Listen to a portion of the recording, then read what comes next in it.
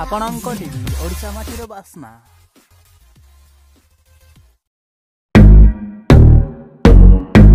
ଜାଲିଆତି କରି ଧରାପଡ଼ିଲେ କେନ୍ଦ୍ରାପଡ଼ା ସାଂସଦ ତଥା ଅଭିନେତା ଅନୁଭବ ମହାନ୍ତିଙ୍କ ବାପା ଅଭୟ କୁମାର ମହାନ୍ତି।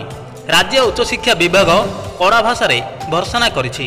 ଶ୍ରୀ ମହାନ୍ତି କେନ୍ଦ୍ରାପଡ଼ା ସାଂସଦ ଅନୁଭବ ମହାନ୍ତିଙ୍କ ବାପା। ଉଚ୍ଚଶିକ୍ଷା ବିଭାଗ ପକ୍ଷରୁ ଜୁନ୍ ଏକରେ ଜାରି ହୋଇଥିବା ନିର୍ଦ୍ଦେଶନା ଅନୁସାରେ ଓଡ଼ିଶା ହାଇକୋର୍ଟଙ୍କ ଦ୍ୱାରା ଦୁଇ ହଜାର ଏକୋଇଶ ଏପ୍ରିଲ ସାତ ତାରିଖରେ ଦିଆଯାଇଥିବା ରାୟକୁ ଆଧାର କରି ଉଚ୍ଚଶିକ୍ଷା ବିଭାଗ ଶ୍ରୀ ମହାନ୍ତିଙ୍କ ବିରୁଦ୍ଧରେ ଏଭଳି ଏକ କାର୍ଯ୍ୟାନୁଷ୍ଠାନ ଗ୍ରହଣ କରିଛି।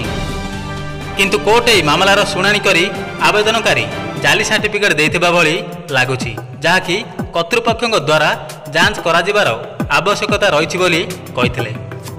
ଏହା ସହିତ ଶ୍ରୀ ମିଶ୍ର ତାଙ୍କୁ ଭର୍ସନା କରି କହିଛନ୍ତି ଯେ ସାଂସଦ ଅନୁଭବ ମହାନ୍ତିଙ୍କ ବାପା ଅଭୟ ମହାନ୍ତି ଜଣେ କଲେଜ ଶିକ୍ଷକତା ଭଳି ମହତ ପେଶାରେ ରହି ଛାତ୍ରଛାତ୍ରୀଙ୍କ ଭବିଷ୍ୟତ ଗଢ଼ିବାର ଦାୟିତ୍ୱ ମୁଣ୍ଡାଇଥିଲେ ମଧ୍ୟ ନିଜ ସ୍ୱାର୍ଥ ପାଇଁ ଏଭଳି ଜାଲିଆତି କରିଛନ୍ତି ଯାହାକି ତାଙ୍କ ଛାତ୍ରଛାତ୍ରୀଙ୍କ ମଧ୍ୟରେ ଏକ ଖରାପ ଉଦାହରଣ ସୃଷ୍ଟି କରିଛି ବୋଲି ଉଚ୍ଚଶିକ୍ଷା ବିଭାଗ କହିଛି।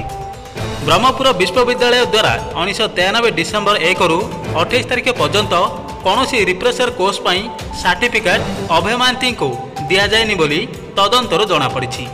ତେବେ ଅଭୟ କୁମାର ମହାନ୍ତିଙ୍କ ରିପ୍ରେସର କୋର୍ସ ସାର୍ଟିଫିକେଟ୍ ଜାଲି ଆଧାରରେ ତାଙ୍କୁ ଉଣେଇଶହ ସତାନବେ ଜାନୁଆରୀରୁ ରିଡର ପାହ୍ୟକୁ ପଦୋନ୍ନତି ଦିଆଯାଇଥିବା ନେଇ ଦୁଇ ହଜାର ଆଠ ମେ ତିନି ତାରିଖରେ ଉଚ୍ଚଶିକ୍ଷା ବିଭାଗ ପକ୍ଷରୁ ଜାରି ବିଜ୍ଞପ୍ତିରୁ ରଦ୍ଦ କରାଗଲା ଏବଂ ରିଡର ସ୍କେଲରେ ତାଙ୍କୁ ପେନ୍ସନ୍ ଦେବା ପାଇଁ ଦାବିକୁ ମଧ୍ୟ ଖାରଜ କରାଗଲା ବୋଲି ଉଚ୍ଚଶିକ୍ଷା ସଚିବ ଶ୍ରୀ ମିଶ୍ର ତାଙ୍କ ନିର୍ଦ୍ଦେଶନାରେ ଦର୍ଶାଇଛନ୍ତି।